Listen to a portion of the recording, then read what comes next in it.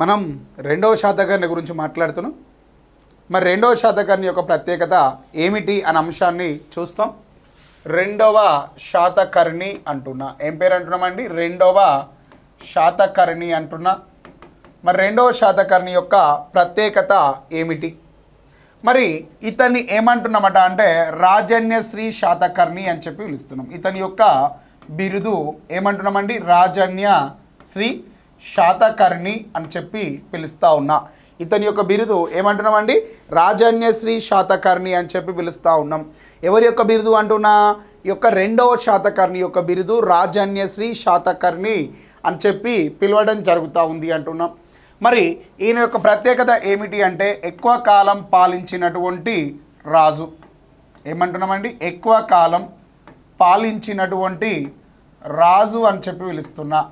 మరి ఎన్ని సంవత్సరాలు పరిపాలించిండట అంటే ఇతడు సుమారుగా యాభై ఆరు సంవత్సరాల కాలం పాటు శాతవాహన రాజ్యాన్ని పాలించడం జరిగింది. ఎన్ని సంవత్సరాలు అంటున్నా? యాభై ఆరు సంవత్సరాల కాలం పాటు ఇతడు శాతవాహన రాజ్యాన్ని పరిపాలించిండు అంటున్నాం. ఎక్కువ కాలం పరిపాలించిన రాజు ఎవరు అని అడిగినప్పుడు వెంటనే ఎవరి పేరు చెప్పాలండి? ఈ యొక్క రెండవ శాతకర్ణి పేరు చెప్పాలి. మరి ఈ రెండవ శాతకర్ణి యొక్క ప్రత్యేకత ఏమిటి అంటే ఇతడు ఉత్తర భారతదేశం పైన దాడి చేసిన తొలి దక్షిణ భారత రాజు అంటున్నా. దేనిపైన దాడి చేసిండు అంటున్నా? ఉత్తర భారతదేశం పైన దాడి చేసినటువంటి తొలి దక్షిణ భారతదేశ రాజు అని చెప్పి పిలుస్తూ ఉన్నాం. ఎవరిని పిలుస్తున్నా? రెండవ శాతకర్ణిని. అవునా? ఈ యొక్క రెండవ శాతకర్ణి అట. ఎక్కడ ఉంటాడండి ఈయన? ఒక చిన్న ముచ్చట చూడండి. ఇదేంటిది? ఈ యొక్క ఇండియా ఇది. ఓకేనా? ఇది ఇండియా. మళ్ళీ బొమ్మ మంచిగా వేయలేదని ఫీల్ కావద్దు. ఇక ఏ వచ్చినట్టు వేసినాం. గంతే. ఇదేంది? ఇండియా. అవునా? ఇది ఇది ఇది ఏ ఇండియా? South India. ఇదేమిటి? North India. పోరడు ఒక గీడు ఉన్నాడు కత్తి పట్టుకొని ఉన్నాడు ఇట్లా. ఈ పోరడు ఏం చేసిండు? కత్తి పట్టుకొని పోయి ఈ నార్త్ ఇండియా మీద దాడి చేసిండు. దేని మీద దాడి చేసిండు? నార్త్ ఇండియా పైన దాడి చేసినటువంటి మొదటి శాతవాహన రాజు ఎవరు అంటే రెండవ శాతకర్ణి. మరి ఇతడు ఉత్తర భారతదేశం పైన దాడి చేసినటువంటి తొలి దక్షిణ భారత రాజు లేదా మొదటి శాతవాహన రాజు. తొలి శాతవాహన రాజు అని చెప్పి కూడా పిలుస్తూ ఉన్నాం. ఏమంటున్నామండి? మొదటి శాతవాహన రాజు అని చెప్పి పిలవడం జరుగుతూ ఉంది అంటున్నా. ఎవరిని అంటున్నామండి? యొక్క రెండవ శాతకర్ణిని. మరి ఇతడు ఉత్తర భారతదేశం పైన దండయాత్ర చేశాడు అని చెప్పి ఏ శాసనం తెలియజేస్తుంది అట అంటే బిల్సా శాసనం తెలియజెప్పడం జరుగుతూ ఉంది. ఇతడు ఉత్తర భారతదేశం పైన దాడి చేసిండు అని చెప్పి మనకు తెలియజెప్పినటువంటి శాసనం ఏమిటి అంటే బిల్సా శాసనం పేర్కొంటా ఉంది. మరి ఈ బిల్సా శాసనం ప్రకారం మరి ఈ బిల్సా శాసనం ప్రకారం ఈ యొక్క రెండవ శాతకర్ణట పూర్వము రెండవ శాతకర్ణికి పూర్వం శాతవాహనులు కోల్పోయినటువంటి ప్రాంతాలన్నింటినీ స్వాధీనం చేసుకున్నాడట. ఈయన ముఖ్యంగా ఏ ఏ ప్రాంతాలను జయించిండట అంటే ఈ యొక్క శృంగ రాజ్యాన్ని జయించడం జరిగింది. ఏ రాజ్యాన్ని జయించిండు అంటున్నా? శృంగ రాజ్యమును జయించాడు అంటున్నా. ఎవరు జయించిర్రు? ఈ యొక్క రెండవ శాతకర్ణి శుంగ రాజ్యమును జయించడం జరిగింది అంటున్నా. ఏ రాజ్యాన్ని అంటున్నామండి? శృంగ రాజ్యమును జయించడం జరిగింది అంటున్నాం. మరి అదేవిధంగా ఇంకా ఎవరిని ఓడించిండట అంటే షెక్కులకు ఎవరు అంటున్నామండి ఈ యొక్క బిల్సా శాసనం ద్వారా మనకేం తెలుస్తుందట అంటే శాతవాహనులకు షెక్కులకు మధ్య గల వివాదాలను గురించి తెలుసుకోవడం జరిగింది. ఏమంటున్నామండి? షెక్కులు ఈ యొక్క శాతవాహనులకు మధ్య గల వివాదాలు ఘర్షణల గురించి పేర్కొన్నటువంటి శాసనం ఏమిటి అంటే బిల్సా శాసనం. మరి ఈ విధంగా ఇతడు ఈ ప్రాంతాన్ని శృంగరాజ్యాన్ని శకులను జయించడం జరిగింది. మరి మగధ అనే ప్రాంతాన్ని పైన దాడి చేయడానికి వెళ్ళిండు అంటారు. ఎక్కడికి వెళ్ళాడు అంటారండి? మగధ అనే ప్రాంతం పైన దాడికి వెళ్ళాడు. కానీ అంతవరకు రీచ్ కాలేదని చెప్పి చరిత్రకారుల వాదన. ఇకపోతే ఈ రెండవ శాతకర్ణి యొక్క ప్రత్యేకత మరో ప్రత్యేకత ఏమిటి అంటే ఇతని యొక్క నాణాలు. మనకి ఎక్కడ ఆట అంటే మహారాష్ట్ర కేంద్రంగా. మహారాష్ట్ర కేంద్రంగా. ఎవరి యొక్క నాణాలు లభ్యమైనవి ఈ యొక్క శకుల యొక్క సారీ రెండవ శాతకర్ణి యొక్క నాణాలు మనకి ఎక్కడ లభ్యమైనయట అంటే మహారాష్ట్రలో లభ్యమైనవి అని చెప్పి మాట్లాడుతున్నాం. ఎవరి యొక్క నాణాలు అంటున్నా? ఈ యొక్క ఎక్కువ రెండో శాతకర్ణి యొక్క నాణాలు. ఒక మహారాష్ట్రలోనే దొరికినాయా సార్ అంటే లేదండి ఇంకా మాల్వా అనే ప్రాంతంలో కూడా దొరికినాయండి. ఏ ప్రాంతంలో దొరికినాయండి? మాల్వా అనే ప్రాంతంలో కూడా ఇతని యొక్క నాణాలు అనేటివి లభ్యమైనవి అని చెప్పి మాట్లాడుతూ ఉన్నాం. ఓకేనా? మరి ఈయన ఉత్తర భారతదేశం పైన దండయాత్ర చేసిండు కదా అలా చేసి వచ్చేటప్పుడు మీకు బౌద్ధ మత స్తూపం గురించి ఒక క్వశ్చన్ అడుగుతా. భారతదేశంలో అతిపెద్ద బౌద్ధ మత స్తూపం ఏది అని అడుగుతున్నా. అర్థమవుతుందా నేను అడిగిన క్వశ్చన్ భారతదేశంలో అతిపెద్ద బౌద్ధ మత స్తూపం ఏది అని చెప్పి నేను క్వశ్చన్ అడిగితే మీరు ఏం పేరు చెప్తారు అని నేను అడుగుతాను? భారతదేశంలో అతిపెద్ద బౌద్ధ మత స్తూపం ఏది అన్నప్పుడు నేను ఒకటే పేరు చెప్తా. దాని పేరే సాంచి స్తూపం ఏమంటున్నామండి? సాంచి స్తూపం అని చెప్పి పిలుస్తున్నాం. ఈ సాంచి స్తూపం యొక్క ప్రత్యేకత ఏమిటి? ఇది భారతదేశంలో అతిపెద్ద బౌద్ధ మత స్తూపము అంటున్నా. భారతదేశంలో అతిపెద్ద బౌద్ధ మత స్తూపం ఏది బేట? సాంచి స్తూపం మరి ఈ సాంచి స్తూపాన్ని గురించి మనం పరిశీలన చేసినట్లయితే ఈ సాంచి స్తూపం ఎట్లుంటుంది? ఇట్లా రౌండ్గా ఉంటాయి స్తూపాలు ఇగో ఇట్లుంటాయండి స్తూపాలు ఏమంటున్నామండి? ఇవి స్తూపాలు అని చెప్పి పిలుస్తున్నాం. ఇది ఏ స్తూపం అంటున్నామండి? సాంచి స్తూపం ఈ సాంచి స్తూపానికి ఇది నార్త్ కదండి ఇది సౌత్ కదండి ఇక్కడ సాంచి స్తూపానికి దక్షిణ భాగాన ఒక తోరణంను నిర్మించిండు. దీన్నే ఏమంటున్నామట అంటే దక్షిణ తోరణము. ఏమంటున్నామండి? దక్షిణ తోరణము అని చెప్పి పిలుస్తూ ఉన్నాం. సాంచి స్తూపానికి దక్షిణ తోరణంను నిర్మించింది ఎవరు అని చెప్పి అడిగినప్పుడు ఏం పేరు చెప్పాలండి? ఈ యొక్క ఈ విధంగా ఉంటుందండి దక్షిణ తోరణం. ఇది. ఈ దక్షిణ తోరణాన్ని నిర్మించింది ఎవరు? రెండవ శాతకర్ణి. ఎక్కడ నిర్మించిండు? సాంచి స్తూపానికి దక్షిణ తోరణంను నిర్మించిండు అంటున్నా. ఎవరు? రెండవ శాతకర్ణి. ఓకేనా? నెక్స్ట్ ఈ రెండవ శాతకర్ణి ఈ సాంచి స్తూపానికి దక్షిణ తోరణం నిర్మించింది అని మనకి ఎట్లా తెలిసింది అంటే రెండవ శాతకర్ణి యొక్క ఆస్థానంలో ఒక ఉద్యోగి ఆయన కళాకారుడు మరి ఆయన పేరేం పేరట అంటే ఆనందవర్ధనుడు. ఏం పేరు అంటున్నామండి ఆనందవర్ధనుడు. ఈ ఆనందవర్ధనుడట ఒక శాసనంను చెక్కించడం జరిగింది. ఎక్కడ దక్షిణ తోరణం దగ్గర ఇక్కడ ఒక శాసనాన్ని చెక్కించిండు. మరి ఈ శాసనం ఆధారంగా మనకేం తెలుస్తుంది అంటే చూడండి ఏం తెలుస్తుంది అట అంటే రెండవ శాతకర్ణి యొక్క ఏమంటున్నామండి రెండవ శాతకర్ణి యొక్క పాలనా కాలంలోనే ఈ యొక్క దక్షిణ తోరణంను ఈ యొక్క ఉత్తర భారతదేశ దండయాత్రల సందర్భంగా వచ్చినప్పుడు ఆయన నిర్మించడం జరిగింది అని చెప్పి ఈ యొక్క ఆనందవర్ధన్ యొక్క శాసనం ద్వారా తెలుస్తుంది. ఓకేనా?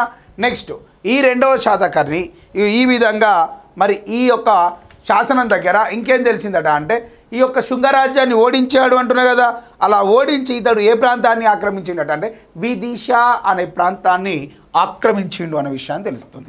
ఏ ప్రాంతాన్ని? విదిశ అనే ప్రాంతాన్ని ఆక్రమించిండట. ఎవడ ఆక్రమించిండు విదిశ అనే ప్రాంతాన్ని? ఈ యొక్క రెండవ శాతకర్ణి విదిశ అనే ప్రాంతాన్ని ఆక్రమించడం జరిగింది అంటున్నాం. అవునా? రైట్ మరి అదేవిధంగా ఇతడు కళింగ ప్రాంతం పైన కూడా ఈ యొక్క దాడి చేసి దాని యొక్క పరిపాలన కూడా చేపట్టిండు అంటున్నాం. ఏ ప్రాంతాన్ని అంటున్నామండి? కళింగ అనే ప్రాంతాన్ని కూడా పరిపాలనలోకి తన యొక్క స్వాధీనంలోకి తీసుకొచ్చిండు అంటున్నాం. ఏ ప్రాంతాన్ని అంటున్నా? కళింగ. ఈ యొక్క కళింగ అనే ప్రాంతాన్ని కూడా ఇతడు ఆక్రమించినట్లుగా మనకు స్వాధీనం చేసుకుని రాజ్య పరిపాలన చేసినట్లుగా మనం తెలుసుకోవడం జరుగుతూ ఉంది. ఇది ఎవరి గురించి అంటున్నామండి? రెండవ శాతకర్ణి గురించి. ఈయన తర్వాత మనకు వచ్చినటువంటి వ్యక్తులు ఎవరు అంటే లంబోదరుడు అనేవాడు రావడం జరిగింది. ఎవరు వచ్చిరు అంటున్నామండి? లంబోదరుడు. ఈయన తర్వాత ఎవరు ఎవరు వచ్చిరట అంటే అపీలకుడు అనేవాడు వచ్చిండు. నెక్స్ట్ ఇంకెవరు వచ్చిరట అంటే మేఘస్వాతి. రైట్ లంబోదరుడు అపీలకుడు మేఘస్వాతి అనే వ్యక్తులు ఈ యొక్క శాతవాహన రాజ్యాన్ని పరిపాలించడం జరిగింది అంటున్నా. ఎవరి కాలంలో పరిపాలించారు అంటే రెండో శాతకర్ణి అనంతరం వీళ్ళు ఈ రాజ్యాన్ని పరిపాలించడం జరిగింది అంటున్నా. ఏ రాజ్యాన్ని పరిపాలించారు శాతవాహన రాజ్యాన్ని. వీళ్ళ తర్వాత నేను ఒక మరొక ప్రముఖ వ్యక్తి గురించి చెప్తున్నాను. ఆయన పేరే మృగేంద్రుడు అంటున్నా. ఏం పేరు అంటున్నామండి? మృగేంద్రుడు. మరి మృగేంద్రుని యొక్క ప్రత్యేకత ఏమిటి? యేసుక్రీస్తు యొక్క సమకాలీనుడిగా పేర్కొంటున్నా. ఎవరి యొక్క సమకాలీనుడు అంటున్నా? యేసుక్రీస్తు యొక్క సమకాలీనుడు అని చెప్పి మాట్లాడుతూ ఉన్నాం. ఎవరి యొక్క సమకాలీనుడు అంటున్నామండి? యేసుక్రీస్తు యొక్క సమకాలీనుడు అని చెప్పి పిలుస్తూ ఉన్నాం. ఎవరిని పిలుస్తున్నామండి? మృగేంద్రుడిని. యేసుక్రీస్తు యొక్క సమకాలీనుడు అని చెప్పి పిలవడం జరుగుతూ ఉంది అంటున్నాం. ఓకే? క్రైస్తవ మతంలో ప్రముఖ బోధకుడైనటువంటి ఏసుక్రీస్తు యొక్క సమకాలీనుడిగా పేర్కొంటున్నటువంటి శాతవాహన రాజు ఎవరు అన్నప్పుడు అప్పుడు ఎవరి పేరు చెప్పాలండి? ఈ యొక్క మృగేంద్రుని పేరు చెప్పాలి. ఎవరి పేరు చెప్పాలి? ఈ యొక్క మృగేంద్రుడి పేరు చెప్పాలి అంటున్నాం. ఆయన శాతవాహన రాజు ఇప్పుడు వీళ్ళందరి తర్వాత నేను మరొక రాజును పరిచయం చేస్తున్న. ఆయన పేరే కుంతల శాతకర్ణి అంటున్నా. ఏం పేరు అంటున్నామండి? కుంతల శాతకర్ణి అని చెప్పి పిలుస్తూ ఉన్నాం. మరి ఈ కుంతల శాతకర్ణి యొక్క ప్రత్యేకత ఏమిటి? ఇతడు పదమూడవ రాజుగా పేర్కొంటున్నా కుంతల శాతకర్ణి ఎన్నవ రాజు అంటున్నామండి? ఇతడు పదమూడవ రాజు అని చెప్పి పిలుస్తున్నా. ఎవరు పదమూడవ రాజు అంటున్నా? కుంతల శాతకర్ణి పదమూడవ రాజుగా పిలవడం జరుగుతూ ఉంది అంటున్నాం. మరి ఈ కుంతల శాతకర్ణి యొక్క ప్రత్యేకత ఏమిటి? ఇతని యొక్క బిరుదు ఇతని యొక్క బిరుదు ఏమిటి అంటే విక్రమార్క అని చెప్పి పిలుస్తూ ఉన్నా. ఏమంటున్నామండి? ఇతని యొక్క బిరుదు ఏమిటి అంటే విక్రమార్క అని చెప్పి పిలుస్తున్నాం. ఇతడి కాలంలో ఏ భాష అభివృద్ధి చెందినది అంటే సంస్కృత భాష అనేది అభివృద్ధి చెందినది అంటున్నా. ఏ భాష అభివృద్ధి చెందింది? సంస్కృత భాష అనేది అభివృద్ధి చెందినది అంటున్నా. ఎవరి కాలంలో? యొక్క కుంతల శాతకర్ణి కాలంలో సంస్కృత భాష అనేది అభివృద్ధి చెందినది. అందుకే సంస్కృత సాహిత్యానికి సంబంధించి కుంతల శాతకర్ణి కాలాన్ని ఏమని పిలుస్తున్నామట అంటే స్వర్ణ యుగం అని చెప్పి పిలుస్తూ ఉన్నాం. ఏమంటున్నామండి? స్వర్ణ యుగము అని చెప్పి పిలవడం జరుగుతూ ఉంది. ఏమంటున్నాం? స్వర్ణ యుగము అని చెప్పి పిలవడం జరుగుతూ ఉంది. ఓకేనా? నెక్స్ట్ మరి ఈ యొక్క కుంతల శాతకర్ణి గురించి తెలియజెప్పినటువంటి పుస్తకాలు. మీకు ఆల్రెడీ కుంతల శాతకర్ణి గురించి నేను కొన్ని ముచ్చట్లను కూడా మీకు చెప్పినట్టున్నా. ఎందట అంటే శర్వవర్మ కాతంత్ర వ్యాకరణం గుణాఢ్యుని యొక్క బృహత్ కథ బృహత్ కథ మంజరి ఇలాంటి పుస్తకాల గురించి నేను ఇక్కడ చెప్పినా అని చెప్పి మాట్లాడుతూ ఉన్నాం. మరి ఈ యొక్క కుంతల శాతకర్ణి యొక్క ఆస్థాన కవులు ఎవరు అన్నామండి శర్వవర్మ అని చెప్పినాం. మరి అదేవిధంగా గుణాఢ్యుడు అని చెప్పి కూడా మాట్లాడడం జరిగింది. మరి ఇతని గురించి తెలియపింది ఈ యొక్క వాత్సాయన్ యొక్క కామసూత్ర అనే పుస్తకం కూడా ఇక్కడ చెప్పినాం. మరి కుంతల శాతకర్ణి యొక్క భార్య పేరు మలయావతి అని చెప్పినాం. ఆమె కరీర్త అనే కామక్రీడలో మరణించింది అనే విషయాన్ని కూడా నేను ప్రస్తావించిన. ఓకేనా? నెక్స్ట్. మరి ఈ విధంగా మనకి కుంతల శాతకర్ణి గురించి మనం మాట్లాడుకోవడం జరిగింది గత క్లాసులలో ఓకే? ఈ కుంతల శాతకర్ణి తర్వాత ఈ రాజ్యాన్ని పరిపాలించినటువంటి వ్యక్తి ఎవరు అంటే స్వాతి కర్ణ అని చెప్పి పిలుస్తున్నా. ఏమంటున్నామండి? స్వాతి కర్ణ.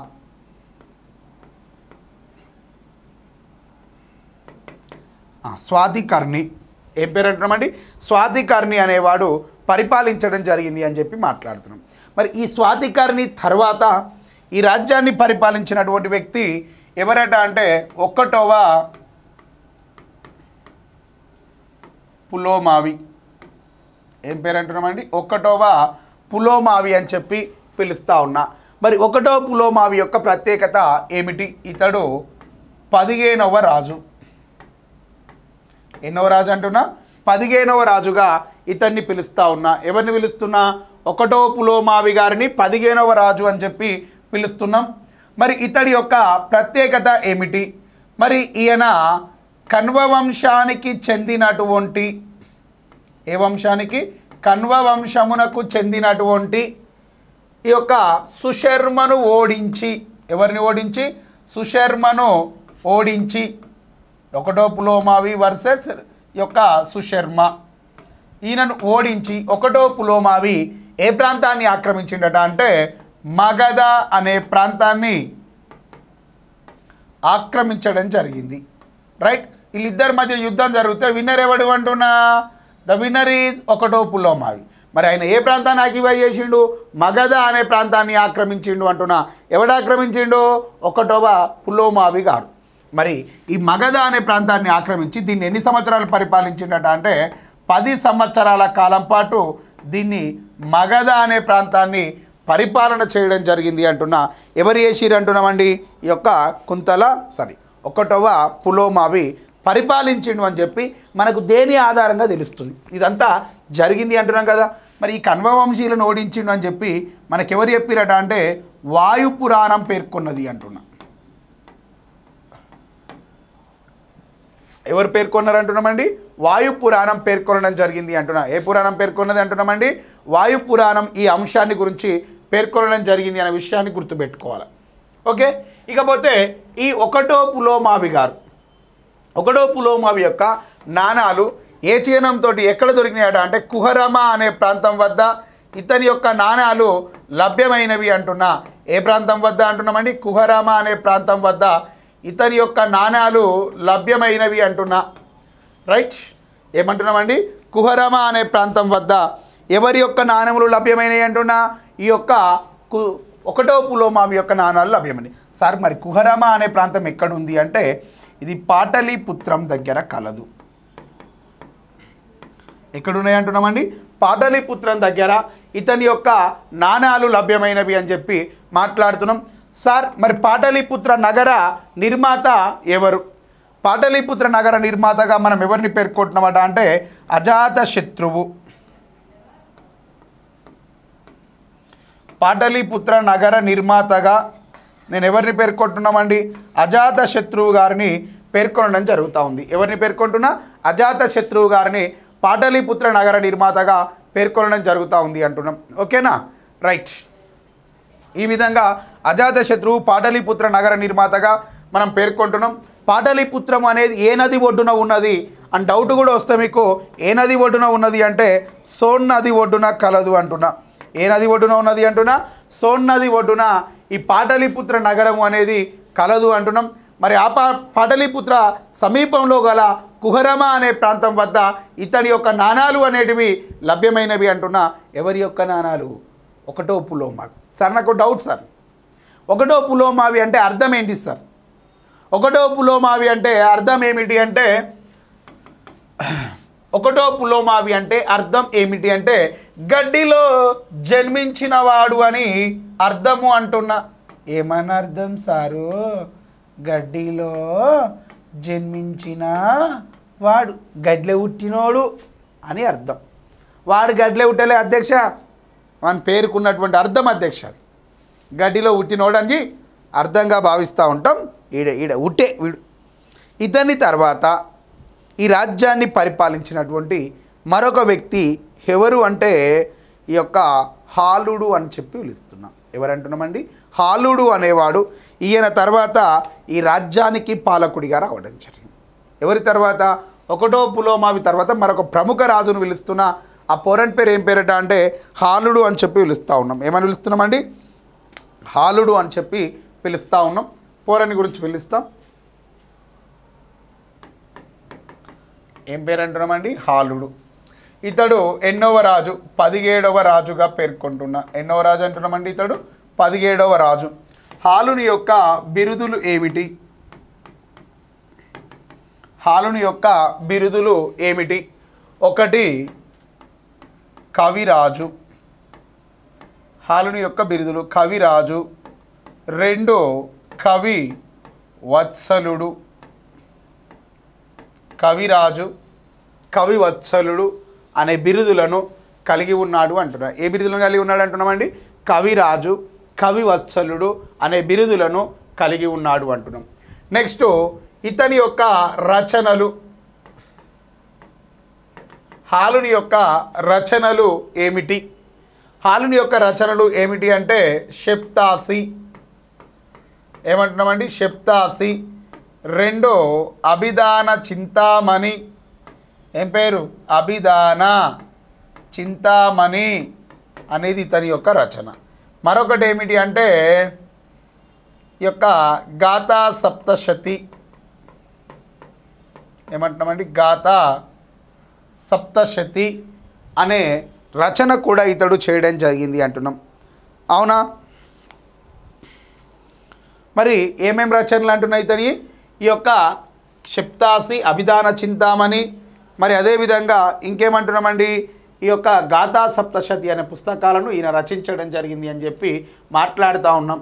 మరి ఈ యొక్క గాథా సప్తశతి ప్రకారం ఈ యొక్క గాథా సప్తశతి మరి సప్తాసి అభిధాన చింతామణి అనే పుస్తకాలు రాసినందువల్లనే ఈయన ఏమన్నమాట అంటే కవిరాజు మరియు లేదా కవివత్సలుడు అని చెప్పి పిలవడం జరిగింది. ఏమని పిలిచినామండి? కవిరాజు లేదా కవివత్సలుడు అని చెప్పి పిలవడం జరిగింది అంటున్నాం. ఎవరిని? ఈ యొక్క హాలుడిని మరి ఈ యొక్క ఆలుని కాలంలో ఏ భాషా సాహిత్యం బాగా డెవలప్ అయింది? ఈ యొక్క ఆలుడి కాలంలో ఏ భాషా సాహిత్యం బాగా డెవలప్ అయిందట అంటే ఈ యొక్క ప్రాకృత భాషా సాహిత్యము. ఏ భాష అంటున్నామండి? ప్రాకృత భాషా సాహిత్యం డెవలప్ అయింది అంటున్నా. ఏ భాషా సాహిత్యం అంటున్నామండి? ప్రాకృత భాషా సాహిత్యము ఇక్కడ బాగా డెవలప్ అయింది అని చెప్పి మాట్లాడుతున్నాం. మరి ఈ ప్రాకృత భాషా సాహిత్యం గురించి మనం మాట్లాడినట్లయితే మరి ఇతడి కాలంలో ప్రాకృత భాష అనేది చాలా అభివృద్ధి చెందినది కాబట్టి ఈ యొక్క ప్రాకృత భాషా సాహిత్యానికి సంబంధించి హాలుడి కాలాన్ని ఏమని పిలుస్తున్నామట అంటే స్వర్ణయుగం అని పిలుస్తున్నాం. ఏ ఏమని పిలుస్తున్నా? స్వర్ణయుగము అని చెప్పి పిలుస్తా ఉన్నా. ఏమని పిలుస్తున్నామండి? స్వర్ణ. యుగము అని చెప్పి పిలవడం జరుగుతూ ఉంది అంటున్నా. ఏమని పిలుస్తున్నామండి? స్వర్ణ యుగము అని చెప్పి పిలుస్తున్నాం. ఎవరి కాలాన్ని? హాలుడి కాలాన్ని. ఏ భాషకు సంబంధించి? ఈ యొక్క ప్రాకృత భాషకు సంబంధించి. సార్ మరి ప్రాకృత భాషలో వచ్చినటువంటి పుస్తకాలు ఏమిటి? మీ అందరికీ చెప్పిన గాథా సప్తశతి. మీకు సాహిత్య రచనలలో దీన్ని చెప్పిన గాథా సప్తశతి ఏడు వందల శృంగార పద్యాలతో మిళితమై ఉన్నది అంటున్నా. ఏ ఏ పుస్తకం? గత సప్త శతి. మరి ఇది దేన్ని పోలి ఉన్నది? ఇది ఏ పుస్తకాన్ని పేరు పోలి ఉన్నది అని చెప్పి అడుగుతున్నా. గాథా సప్తశతి అనే పుస్తకం వజ్జలగ్గ. అంటే వజ్జలగ్గ అనే జైన గ్రంథమును పోలి ఉన్నది అంటున్నా. దేని పోలి ఉన్నది బేట? వజ్జలగ్గ అనే జైన గ్రంథమును ఇది పోలి ఉన్నది అని చెప్పి మాట్లాడుతున్నాం. ఎవరు పోలి ఉన్నారు అంటున్నామండి? గాథా సప్తశతి అనే పుస్తకమట. ఈ యొక్క వజ్జలగ్గ అనే పుస్తకాన్ని పోలి ఉన్నది అని చెప్పి మాట్లాడుతున్నాం. మరి ఈ వజ్జలగ్గ అనే పుస్తకాన్ని ఎవరు రాసిరు? జయవల్లభుడు రాశాడు. ఈ వజ్జలగ్గ అనే పుస్తకాన్ని ఎవరు రాసిరు అంటున్నా? జయ వల్లభుడు రాశాడు. ఏమంటున్నామండి? జయ వల్లభుడు అనేవాడు రాశాడు. మరి జయవల్లభుడు ఎవరు అంటే ఈయన జైన మత ఆచార్యుడు అంటున్నా. ఏమంటున్నామండి? జైన మతానికి చెందినటువంటి జైన మత ఆచార్యుడైనటువంటి ఈ యొక్క జయవల్లభుడు రాసినటువంటి వజ్జలగ్గ అనే పుస్తకం నువ్వు పోలి ఉన్నదే గాథా సప్తశతి. మరి ఈ గాథా సప్తశతి అనే పుస్తకంలో ఈ యొక్క హాలుని యొక్క విజయాలను గురించి ఈ యొక్క అభివర్ణించినటువంటి అతని యొక్క సేనాది ఎవడట అంటే విజయనాథుడు. ఏమంటున్నామండి? విజయ నాథుడు అని చెప్పి పిలుస్తున్నా. ఏం పేరు? విజయ నాథుడు అని చెప్పి పిలుస్తూ ఉన్నా. మరి ఈ విజయనాథుడు ఏం చేసిండు? సరే విజయనాథుడు ఏం చేసిండట అంటే హాలుని యొక్క సేనానిగా పేర్కొంటున్నా. విజయనాథుడు ఎవరి యొక్క సేనాని అంటున్నా? హాలుని యొక్క సేనాని. మరి హాలుని సేనాని అయినటువంటి విజయనాథుడు ఈ యొక్క ఏం చేసిండు అంటున్నామండి? ఏందా అది? హాలుని యొక్క విజయాలను గురించి ప్రస్తావించిండు. అది ఏ పుస్తకంలో రాయబడ్డది? గాథా సప్తశతి అనే పుస్తకంలో రాయబడ్డది అంటున్నాం. ఏ పుస్తకంలో రాయబడ్డది? గాథా సప్తశతి అనే పుస్తకంలో ఇది రాయబడ్డది అంటున్నాం. ఓకే కదండి ఇక్కడ దాకా? నెక్స్ట్ చూద్దాం. ఇగో ఈ విధంగా మనకు హాలుడు కనిపిస్తూ ఉన్నాడు. మరి హాలుడు ఎవరిని వివాహం చేసుకున్నాడు? అంశం ఏంది అనే అంశాలను కూడా నేను చెప్పిన శ్రీలంక రాకుమారి అయినటువంటి లీలావతిని వివాహం చేసుకున్నాడు అని చెప్పిన. ఏ- ఎవరిని? శ్రీలంక రాకుమారి లేదా? గంపేరు లీలావతి కదా. గామెనే లగ్గం చేసుకున్నాడు ఈయన. చేసుకోలే? చేసుకోండు. రెడీ. ఈ ముచ్చట్లన్నీ నేను సాహిత్య ఆధారంలో చెప్పలేదా మీకు? చెప్పినా? గుర్తుంది కదా? ఎస్ ఇది అక్కడ మనకు కనిపించినటువంటి అంశాలు. ఈ ఆలుని తర్వాత మనం ఎవరిని చూస్తున్నామట అంటే ఇక ఓ పోరడు వచ్చిండు. ఆ పోరని పేరు ఏం పేరట అంటే శివ స్వాతి అని పిలుస్తున్నాం. ఏమంటున్నామండి? శివ స్వాతి. ఏం పేరు? పోరన్ పేరు ఒకసారి చెప్పండి. శివస్వాతి అంటున్నా. ఏం పేరు? శివస్వాతి. మరి ఈ శివస్వాతి యొక్క ప్రత్యేకత ఏమిటి అంటే ఇతడి కాలంలోనే మనకు శైవ మతం అనేది ఏ మతం అంటున్నామండి? శైవ మతం అనేది వెలుగులోకి వచ్చింది అంటున్నా. ఎవరి కాలంలో? శివస్వాతి కాలంలోనే శైవ మతము అనేది శాతవాహన రాజ్యంలోకి ప్రవేశించింది అంటున్నా. ఏ మతం ప్రవేశించింది? శైవ మతం అనేది శివస్వాతి కాలంలోనే శాతవాహన రాజ్యంలోకి ప్రవేశించింది అని చెప్పి మాట్లాడుతున్నాం. మరి ఈ శైవ మతం యొక్క ప్రత్యేకత ఏమిటి? మరి ఈ శైవ మతం యొక్క స్థాపకుడు ఎవరు అంటే లకులిష్యుడు. శైవ మతం యొక్క స్థాపకుడిగా నేను ఎవరిని పేర్కొంటున్నాను అంటే లకులిష్యుడిని పేర్కొంటున్నా. ఎవరిని పేర్కొంటున్నామండి? లకు లిష్యుడిని ఏమని పేర్కొంటున్నామండి? శైవ మతం యొక్క స్థాపకుడు అని చెప్పి పేర్కొనడం జరుగుతూ ఉంది మరి ఈ శైవ మతం అట ఎప్పుడు ఆవిర్భవించిందట అంటే క్రీస్తు పూర్వము రెండవ శతాబ్ద కాలంలో ఈ యొక్క శైవ మతం అనేది ఆవిర్భవించింది. ఇక్కడ ఇది ఎక్కడ ఆవిర్భవించిందట అంటే గుజరాత్ కేంద్రంగా ఈ యొక్క శైవ మతము అనేది ఆవిర్భవించింది అంటున్నాం. ఇది శాతవాహన రాజ్యంలోకి శివస్వాతి కాలంలో రావడం జరిగింది అంటున్నాం. మరి ఈ శివస్వాతి యొక్క కుమారుడే ఎవరు అంటే గౌతమి పుత్ర శాతకర్ణి అని చెప్పి పిలుస్తూ ఉన్నా. ఏం పేరు అంటున్నామండి? గౌతమి పుత్ర శాతకర్ణి అని చెప్పి మాట్లాడుతూ ఉన్నాం. ఓకే ఇప్పుడు గౌతమి పుత్ర శాతకర్ణి గురించి మనం మాట్లాడుకుందాం.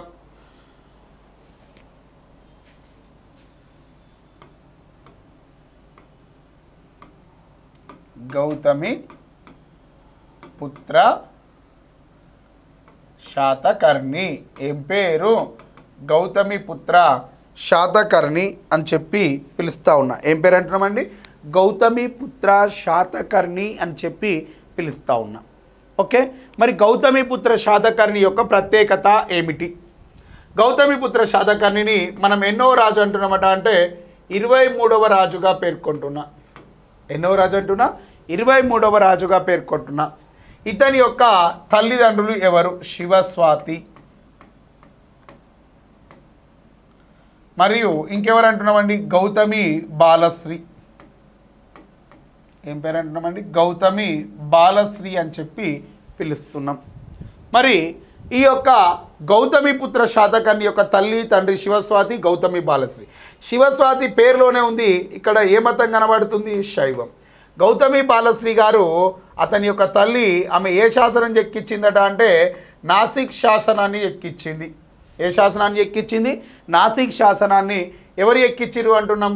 గౌతమి బాలశ్రీ గారు చెక్కిచ్చారు మరి ఈ నాసిక్ శాసనం ప్రకారం గౌతమి బాలశ్రీ గారి యొక్క బిరుదు ఏమిటి అంటే గౌతమి బాలశ్రీ గారి యొక్క బిరుదు. ఏమంటామట అంటే రాజర్షి వధు అని చెప్పి పిలుస్తున్నా. ఏమంటున్నామండి? రాజర్షి వధు అని చెప్పి పిలుస్తున్నా. ఎవరి యొక్క బిరుదు అంటున్నా? గౌతమి బాలశ్రీ గారి యొక్క బిరుదును నేనేమంటున్నామండి? రాజర్షి వధు అని చెప్పి పిలుస్తున్నా. ఏ ఏమని పిలుస్తున్నాం సార్? రాజర్షి వధు అని చెప్పి పిలుస్తున్నాం. ఎవరి యొక్క బిరుదు అంటున్నామండి? ఈ యొక్క గౌతమి బాలశ్రీ గారి యొక్క బిరుదు. ఓకే? నెక్స్ట్. ఇప్పుడు గౌతమి పుత్ర శాతకారిని ఎన్ని సంవత్సరాలు పరిపాలించిండు? ఇతడు సుమారుగా ఇరవై నాలుగు సంవత్సరాల కాలం పాటు రాజ్య పరిపాలన చేయడం జరిగింది. ఎన్ని సంవత్సరాలు అంటున్నామండి? ఇరవై నాలుగు సంవత్సరాలు. ఒకటో శాతకర్ణి ఎన్ని సంవత్సరాలు పరిపాలించిండు అంటున్నామండి? ఈయన ఇరవై మూడు సంవత్సరాలు పరిపాలించిండు అంటున్నాం. ఎన్ని సంవత్సరాలు? ఇరవై మూడు సంవత్సరాలు పరిపాలించిండు. ఎవరంటున్నామండి? ఒకటవ శాతకర్ణి ఇరవై మూడు సంవత్సరాలు పరిపాలించడం జరిగింది. ఇతడేమో ఇరవై నాలుగు సంవత్సరాల కాలం పాటు పరిపాలించిండు అంటున్నా. ఎవరు? ఒకటో సారీ గౌతమి పుత్ర శాతకర్ణి మరి ఇప్పుడు నాసిక్ శాసనం ఎవరు ఎక్కించిరు అంటున్నా? గౌతమి బాలశ్రీ. ఏ భాషలో? ప్రాకృత భాషలో. ఏ లిపిలో? బ్రహ్మి లిపిలో. ఈ ఈ ముచ్చటంతా మీకు చెప్పిన నేను. అది నాణాలు శాసనాలు సాహిత్య ఆధారాలు అవన్నిటి గురించి డిస్కస్ చేసినప్పుడు ఈ ఈ- టాపిక్ కూడా వచ్చింది. రాలేదా? వచ్చే. ఇక ఇప్పుడు ఇప్పుడు నేనేం చెప్తా అంటే ఈ గౌతమి పుత్ర శాతకర్ణి యొక్క బిరుదులు. మళ్ళీ ఈ బిరుదులు మీకు అన్నీ తెలుసు బట్ నేను మళ్ళీ ఒక్కసారి గుర్తు చేస్తా. వద్దన్నా కానీ గుర్తు చేస్తాం. ఒకటి ఏమంటున్నామట అంటే క్షత్రియ దర్పమాన వర్ధన అని చెప్పి పిలుస్తున్నాం. ఏమంటున్నామండి? క్షత్రియ దర్పమాన వర్ధన అని చెప్పి పిలుస్తున్నా. ఏమంటున్నామండి? క్షత్రియ దర్పమాన వర్ధన అని చెప్పి పిలుస్తూ ఉన్నాం.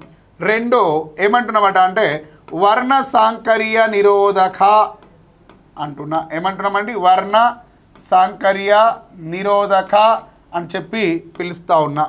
నెక్స్ట్ ఇంకేమంటున్నామట అంటే ఆగమ నిలయ ఏమంటున్నామండి? ఆగమ నిలయ నెక్స్ట్ ఇంకేమంటున్నామట అంటే విధివర్తిత. ఏమంటున్నా? విధివర్తిత. నెక్స్ట్ ఇంకేమంటున్నామట అంటే ధనుర్దాయ. ఏమంటున్నామండి? ధనుర్దాయ. నెక్స్ట్ ఇంకేమంటున్నామట అంటే క్షత్రియ దర్పమాన వర్ధన వర్ణ సాంకర్య నిరోధక ఆగమ నిలయ విధివర్తిత ధనుర్దాయ ఆ, త్రి సముద్ర తోయ పీత వాహన. త్రి సముద్ర తోయ పీత వాహన అని చెప్పి పిలుస్తూ ఉన్నా. ఏమంటామండి? త్రి సముద్ర తోయ పీత వాహన అని చెప్పి పిలుస్తూ ఉన్నాం. ఇంకొక బిరుదు. శక యవన పగ్లవ వంశ నిరవ శశకర. ఏమంటున్నామండి? శక యవ్వన పహ్లవ వంశ నిరవ శశకర అని చెప్పి పిలుస్తా ఉన్నా. ఎవరి యొక్క బిరుదు అంటున్నా? ఇది గౌతమి పుత్ర శాతకర్ణి యొక్క బిరుదు. ఇంకేమంటున్నామట అంటే బే నాటక స్వామి. ఏమంటున్నామండి? బే నాటక స్వామి. ఏమంటున్నా? బే నాటక స్వామి అని చెప్పి పిలుస్తూ ఉన్నాం. ఓకేనా? నెక్స్ట్ ఇంకేమంటున్నామట అంటే క్షాత్రాపవంశ నిర్మూలక. ఏమంటున్నామండి? క్షాత్రాప వంశ నిర్మూలక అని చెప్పి పిలుస్తూ ఉన్నాం. ఏమంటామండి క్షాత్రాప వంశ నిర్మూలక అని చెప్పి పిలవడం జరుగుతూ ఉంది అంటున్నా. ఎవరిని పిలుస్తున్నామండి? ఈ యొక్క గౌతమి పుత్ర శాతకర్ణి గారిని ఈ యొక్క ఈ బిరుదులతోటి పిలుస్తూ ఉన్నాం. ఇంకా ఏమంటున్నామట అంటే ద్విజకుల వర్ధన అంటున్నా. ఏమంటామండి ఈ యొక్క ద్విజకుల వర్ధన ద్విజ కుల వర్ధన అని చెప్పి పిలుస్తూ ఉన్నాం. నెక్స్ట్ ఇంకేమంటున్నామట అంటే ఏకశూర. ఆయననేమో ఏమన్నామండి? ఏకవీర అన్నం. ఈయననేమంటున్నామండి? ఏకశూర అని చెప్పి పిలుస్తూ ఉన్నాము అంటున్నా. అవునా? ఇకపోతే నెక్స్ట్ ఇంకేమంటున్నమాట అంటే ఈ యొక్క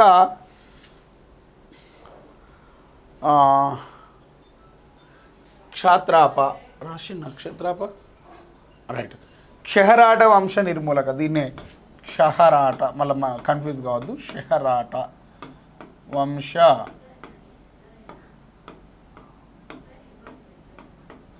క్షహరాట వంశ నిర్మూలక ఈ బిరుదులన్నీ ఎవరికి ఉన్నాయట అంటే గౌతమి పుత్ర శాతకర్ణికి కలవు అంటున్నాం. ఏమంటున్నామండి క్షత్రియ దర్పమాన వర్ధన అంటే క్షత్రియుల యొక్క అహంకారమును అణిచివేసినవాడు అని అర్థము.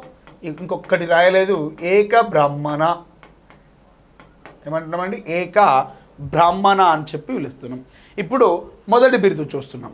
క్షత్రియ దర్పమాన వర్ధన అన్న. అంటే ఏమంటున్నామండి? క్షత్రియుల యొక్క అహంకారమును అణచివేసినవాడు అని అర్థంగా భావిస్తున్నాం.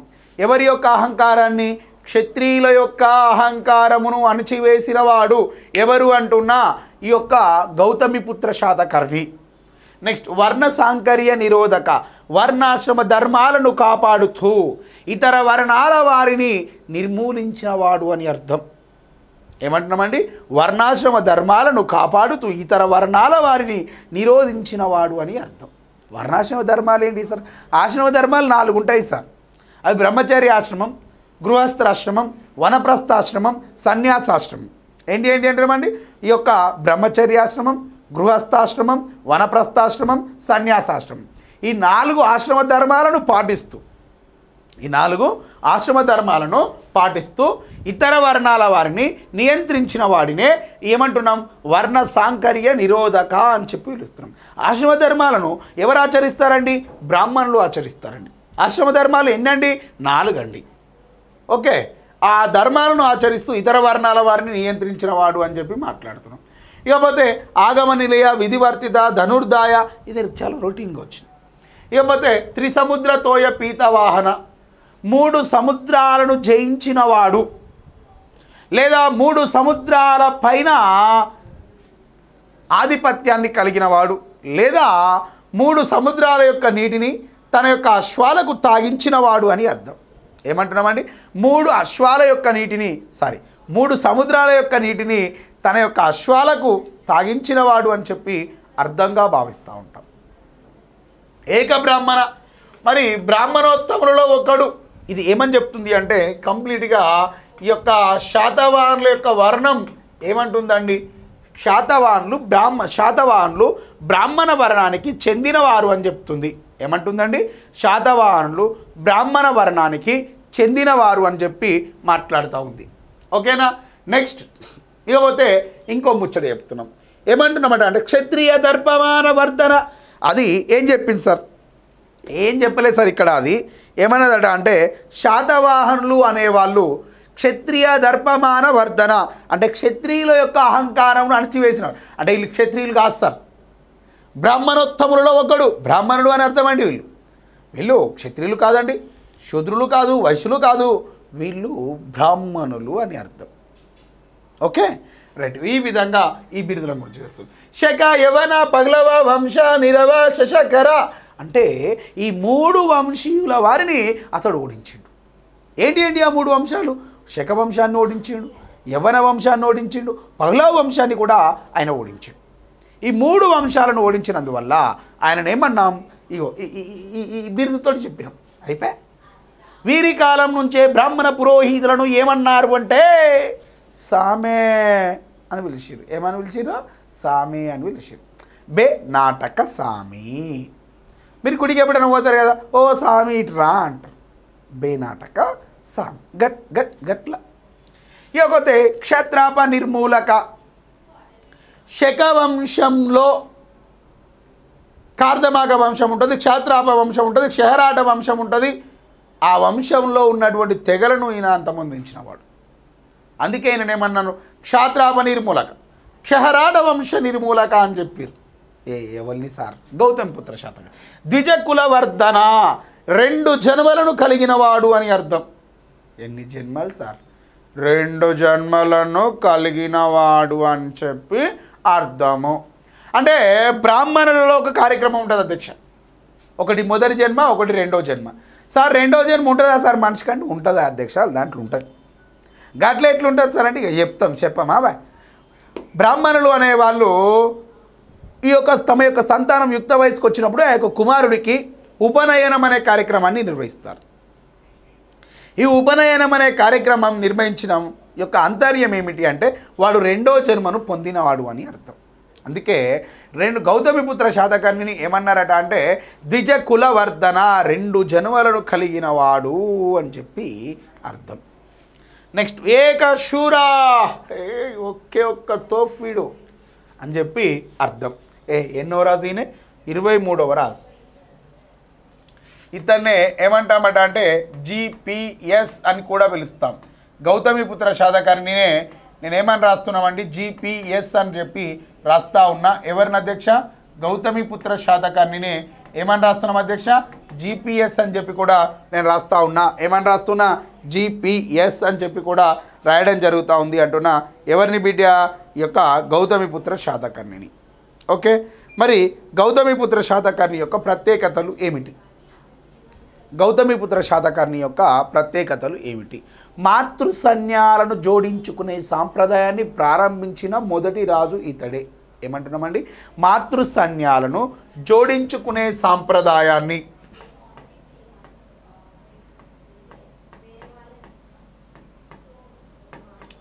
మాతృ సన్యాలను జోడించుకునే సాంప్రదాయాన్ని కలిగిన వాడు అని చెప్పి అర్థం. ఏమంటామండి? మాతృ సన్యాలను జోడించుకునే సాంప్రదాయాన్ని కలిగిన అంటే మాతృ సన్యాలను జోడించుకునే సాంప్రదాయాన్ని ప్రారంభించిండు. మాతృ సన్యాలు అంటే తన పేరు చివరన ఏమని రాసుకుండు? తల్లి పేరును జోడించుకునే సాంప్రదాయం. ఏమంటున్నామండి? తల్లి పేరును జోడించుకునే సాంప్రదాయం. సార్ గట్టెట తీసుకొచ్చిండు సార్ అంటే చూడండి గౌతమి పుత్ర కొడుకు అన్నట్టు శాతకర్ణి గౌతమి కొడుకు శాతకర్ణి. ఈ బిరుదు దేని సూచిస్తుంది అట అంటే ఈ పేరు దేని సూచిస్తుంది అట అంటే శాతవాహనుల కాలంలో బహుభార్యత్వం అమల్లో ఉంది అనే అంశాన్ని సూచిస్తుంది. ఏం అమల్లో ఉందట? బహుభార్యత్వం.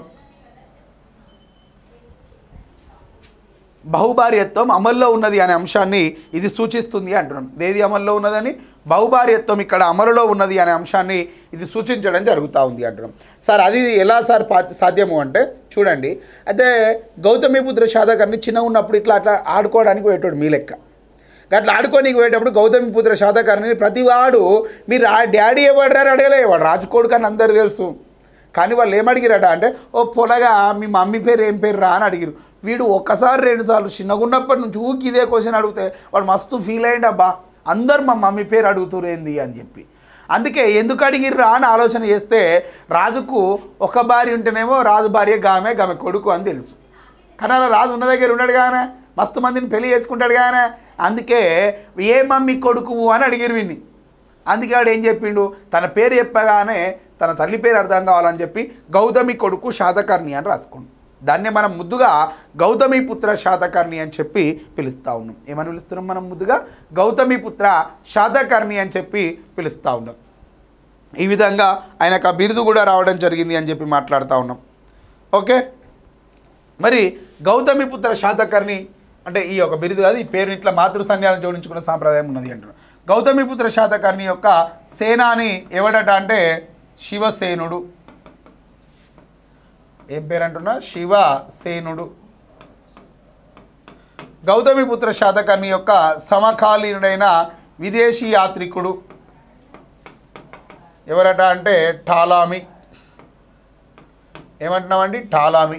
గౌతమిపుత్ర శాతకర్ణి డెబ్బై ఎనిమిదవ సంవత్సరంలో క్రీస్తు శకం డెబ్బై ఎనిమిదవ సంవత్సరంలో శకయుగమును శకయుగమును ప్రారంభించిండు అంటున్నా. ఏ యుగమును ప్రారంభించిండు అంటున్నా? శకయుగమును ప్రారంభించిండు అంటున్నా. ఎవరు ప్రారంభించిరు అంటున్నా? గౌతమిపుత్ర శాతకర్ణి. పంతొమ్మిది సార్ డెబ్బై ఎనిమిదో సంవత్సరంలో శకయుగమును ప్రారంభించిండు. దీన్నే మనం ఏమంటున్నామట అంటే శాలివాహన యుగం.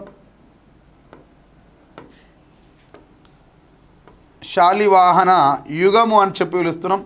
దీన్ని భారత ప్రభుత్వం ఎప్పటి నుంచి గుర్తించింది అంటే పంతొమ్మిది వందల యాభై ఏడవ సంవత్సరంలో దీన్ని శాలివాహన యుగముగా గుర్తించడం జరిగింది అంటున్నాం. ఏ సంవత్సరంలో గుర్తించింది అంటున్నామండి పంతొమ్మిది వందల యాభై ఏడవ సంవత్సరంలో దీన్ని శాలివాహన యుగముగా గుర్తించడం జరిగింది అంటున్నాం. దేన్ని అంటున్నామండి ఈ యొక్క శక సంవత్సరం.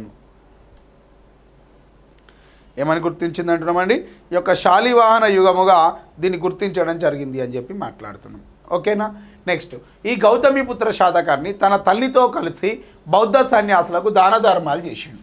ఎవరు అంటున్నామండి? గౌతమిపుత్ర శాతకర్ణి ఎవరితోటి కలిసి? తన తల్లితోటి కలిసి ఇతడు దాన ధర్మాలు చేయడం జరిగింది. తన తల్లి పేరు ఏం పేరు? గౌతమి బాలశ్రీ. ఏం దాన ధర్మాలు చేసిరట అంటే వీళ్ళు ఇద్దరు తల్లి కొడుకులు రెండు కొండ నిర్మాణాలు చేపట్టిరు అవి ఏంటి అట అంటే భద్రాయాన కొండ నెక్స్ట్ లునర్హా అనే కొండలను నిర్మించిర్రు అంటున్నా. ఏ కొండలు అంటున్నామండి? భద్రాయాన కొండ మరియు లునర్హా అనే కొండలను వీళ్ళు నిర్మించిర్రు అంటున్నా. ఎవరు నిర్మించిర్రు అంటున్నామండి? గౌతమి పుత్ర శాతకర్ణి. మరి అదే విధంగా ఇంకెవరు అంటున్నామండి? ఈ ఈమె ఎవరో ఉన్నదిగా గౌతమి బాలశ్రీ. వీళ్ళిద్దరు కలిసి లునర్హా అనే కొండలను నిర్మించడం జరిగింది. ఈ కొండలను తవ్వించి వీటి గుహలుగా మార్చి వీటిని ఎవరికి దానం చేసిరట అంటే బౌద్ధ సన్యాసులకు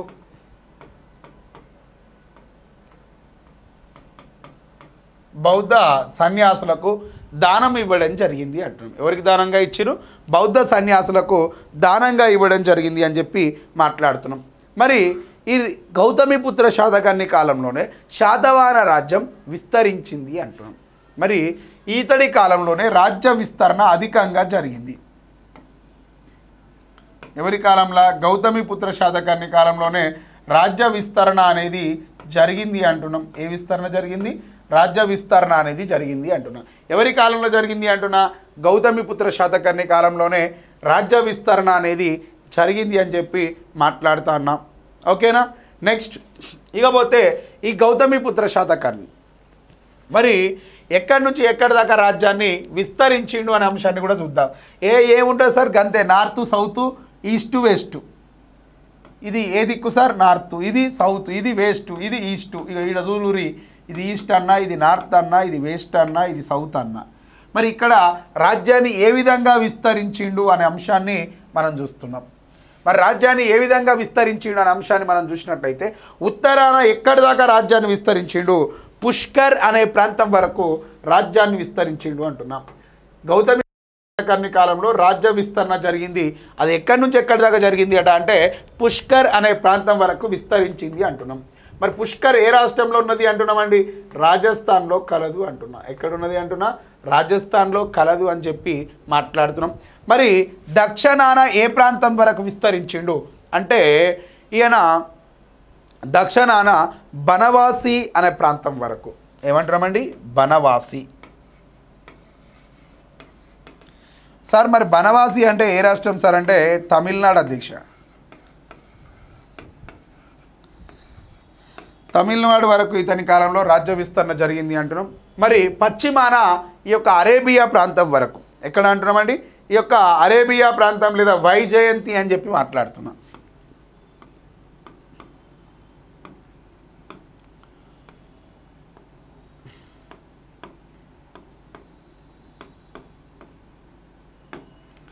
అరేబియా లేదా వైజయంతి అనే ప్రాంతం వరకు ఈ యొక్క పశ్చిమాన విస్తరించడం జరిగింది అంటున్నాం.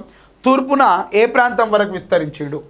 తూర్పున ఏ ప్రాంతం అట అంటే కళింగ లేదా దీన్నే మనం ఏమనుకుంటామట అంటే బంగాళాఖాతం వరకు విస్తరించడం జరిగింది. వే ఆఫ్ బెంగాల్ అంటారా? బంగాళాఖాతం వరకు రాజ్య విస్తరణ అనేది చేపట్టిండు అంటున్నాం. ఎవరు చేపట్టిరు ఒకటోవ సరే గౌతమి పుత్ర శాతకర్ణి అనేవాడు ఇక్కడ వరకు రాజ్య విస్తరణ అనేది చేపట్టడం జరిగింది. మరి గౌతమిపుత్ర శాతకర్ణి కాలంలో జరిగినటువంటి ఒక గొప్ప యుద్ధాన్ని నేను పరిచయం చేస్తా. ఆ గొప్ప యుద్ధం పేరు ఏం పేరట అంటే జోగల్ తంబి యుద్ధం అని చెప్పి పిలుస్తా ఉన్నా. ఏమని పిలుస్తున్నామండి? జోగల్ తంబి యుద్ధము అని చెప్పి పిలుస్తున్నాం.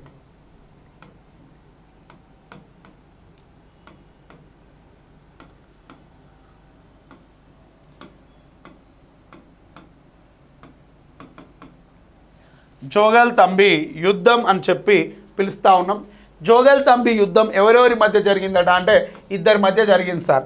ఇద్దరిట్లలో ఒకని పేరు నేను చెప్తా ఒకని పేరు మీరు చెప్పాలి. టక్కన చెప్పండి నేను చెప్పాలి కదా. గౌతమి పుత్ర శాతకాన్ని. ముద్దుగా మనం ఏమన్నాం?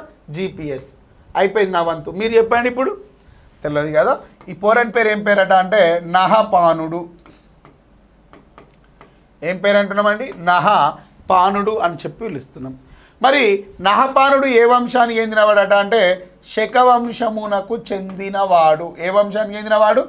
శకవంశానికి చెందినటువంటి నహపానుడికి శాతవాహన రాజు అయినటువంటి గౌతమిపుత్ర శాతకర్ణికి మధ్య జరిగినటువంటి యుద్ధాన్నే నేను జోగల్ తంబి యుద్ధం అని చెప్పి పిలుస్తున్నాం.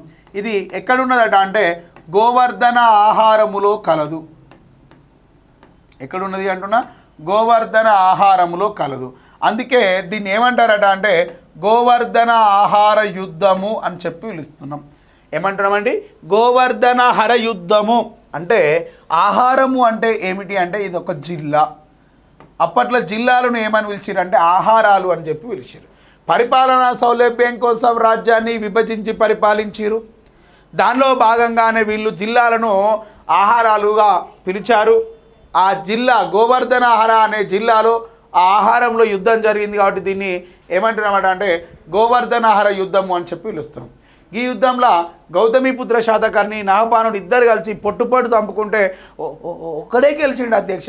ఆయన పేరే గౌతమిపుత్ర శాతకర్ణి. విన్నర్ ఈజ్ గౌతమిపుత్ర శాతకర్ణి అని చెప్పి పిలుస్తూ ఉన్నాం. మరి ఈ గౌతమిపుత్ర శాతకర్ణిని మనం ఏమని పిలుస్తున్నాం? మరి గౌతమిపుత్ర శాతకర్ణి అనేవాడు ఇక్కడ విజయం సాధించిండు కదా.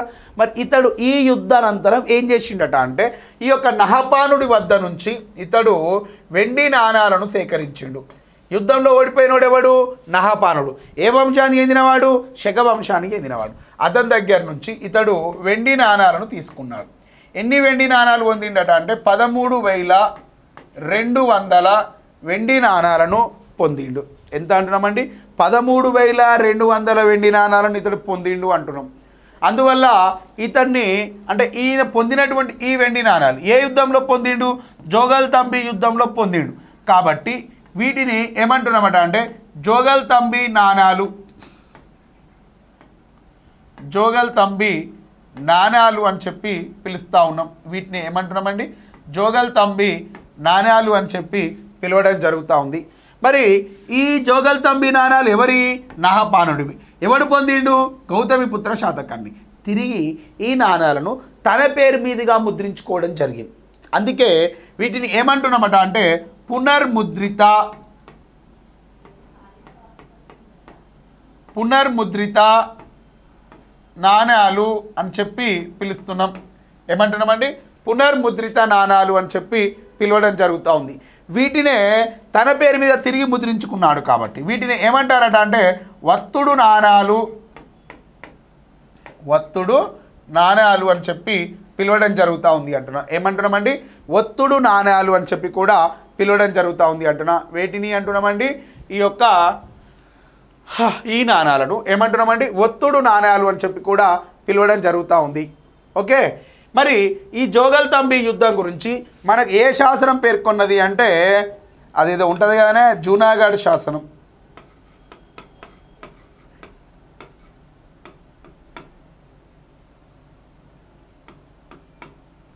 జూనాగఢ్ శాసనం ఈ యొక్క పునర్ముద్రిత నాణాలు లేదా ఒత్తుడు నాణాల గురించి మనకు తెలియపడం జరిగింది అంటున్నాం. అవునా? రైట్. ఈ విధంగా ఈయన ఈ ప్రాంతాలను జయించడం జరిగింది అంటున్నాం. ఎవరు జయించారు అంటున్నామండి? ఈ యొక్క గౌతమిపుత్ర శాతకర్ణి గారు. ఇక ఈ విధంగా అతడు ఈ నాణాలను కూడా సొంతం చేసుకున్నాడు అనే విషయాన్ని మనం గుర్తుపెట్టుకోవాలి. గౌతమిపుత్ర శాతకర్ణి జయించినటువంటి ప్రాంతాలు ఏంటి? అష్మక నీలగిరి సౌరాష్ట్ర కొంకన్ మరి అనూప విదర్భ అనే ప్రాంతాలను ఇతడు జయించడం జరిగింది. ఏ ప్రాంతాలను జయించిండు అంటున్నా? గౌతమిపుత్ర శాతకర్ణి కాలంలోనే శాతవాహన రాజ్యం విస్తరించింది అంటున్నాం. మరి ఇతడి కాలంలో ఈయన జయించినటువంటి ప్రాంతాలు?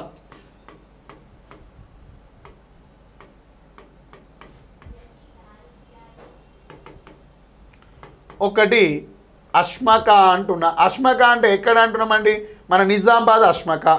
రెండు ఏమంటున్నామండి? నీలగిరి అని చెప్పి పిలుస్తున్నా. ఏమంటున్నామండి? నీలగిరి అంటున్నాం. నీలగిరి ఎక్కడ అంటున్నామండి? ఇది తమిళనాడు అధ్యక్ష. ఇదేమో నిజామాబాద్ అధ్యక్ష నిజామాబాద్ అంటే ఎక్కడ బేట? తెలంగాణ. ఇగో తమిళనాడు ఎక్కడ అంటున్నామండి? నీలగిరి. ఇకపోతే అపరాంతం.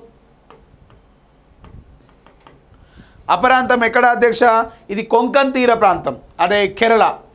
అపరాంతం ఎక్కడ అంటున్నామండి? కొంకన్ ప్రాంతంలో. నెక్స్ట్ ఇంకేమంటున్నామట అంటే బనవాసి. బనవాసి ఎక్కడ అంటున్నామండి? తమిళనాడు అంటున్నాం. నెక్స్ట్ ఇంకెక్కడ అంటున్నామండి? ఈ యొక్క సౌరాష్ట్ర. ఏమంటున్నామండి? సౌరాష్ట్ర.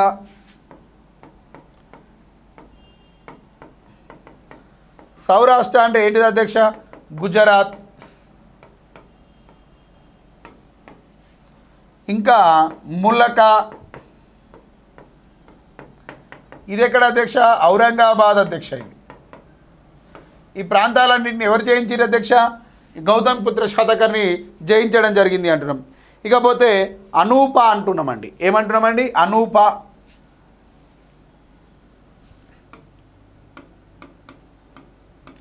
అనూప ఎక్కడ అధ్యక్ష? మహిష్మతి. ఏమంటున్నామండి? మహిష్మతి. నెక్స్ట్ ఇంకేమంటున్నామండి? దీని తర్వాత మరొక ప్రాంతం పేరు చెప్తాం. విదర్భ అంటున్నామండి.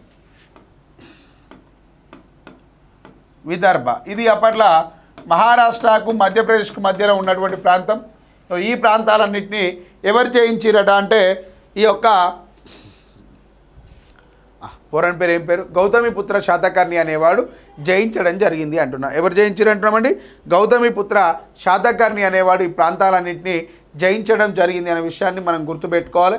ఈ విధంగా ఆయన రాజ్య పరిపాలన అనేది చేయడం జరిగింది. అందుకే శాతవాహన రాజులందరిలో గొప్పవాడిగా ఎవరిని పిలుస్తున్నామట అంటే గౌతమిపుత్ర శాతకర్ణిని పిలుస్తూ ఉన్నాం. గొప్పవాడిగా ఎవరిని పిలుస్తున్నామండి? గౌతమిపుత్ర శాతకర్ణిని గొప్పవాడిగా పిలవడం జరుగుతూ ఉంది అంటున్నాం. మరి ఈ యొక్క గౌతమిపుత్ర శాతకర్ణి బౌద్ధ సన్యాసులకు వంద నివర్తనల భూమిని దానంగా ఇచ్చిండు. గౌతమిపుత్ర శాతకర్ణి. ఎన్ని నివర్తనల భూమిని అంటున్నా? వంద.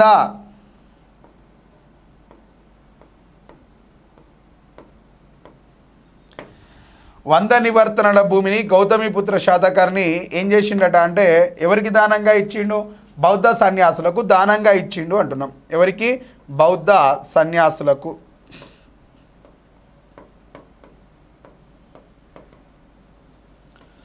వంద నివర్తనల భూమిని గౌతమిపుత్ర శాతకర్ణి ఎవరికి దానంగా ఇచ్చిండు? బౌద్ధ సన్యాసులకు దానంగా ఇచ్చిండు. అప్పట్లో భూమిని మనం ఇప్పుడేమో ఎకరాలలో కొలుస్తున్నాం. అప్పట్లో నివర్తనలు అనేవాళ్ళు. ఒక నివర్తన ఈక్వల్ టు ఎంత?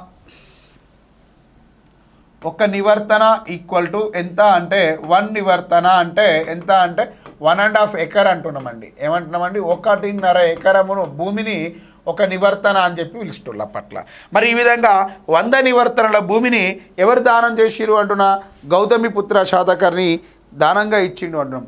మరి భద్రాయన కొండ లునర్గా కొండ ఇవి ఎక్కడ అంటున్నామండి నాసిక్ ప్రాంతంలో. ఇవి కూడా ఈ యొక్క బౌద్ధ సన్యాసులకు దానంగా ఇచ్చిండు అంటున్నాం. మరి గౌతమిపుత్ర శాతగారిని పోతూ పోతూ ఇద్దరి కొడుకులను మన చేతిలో పెట్టిండు. పెద్ద కొడుకు పేరేమో ఏం పేరు చెప్తారు?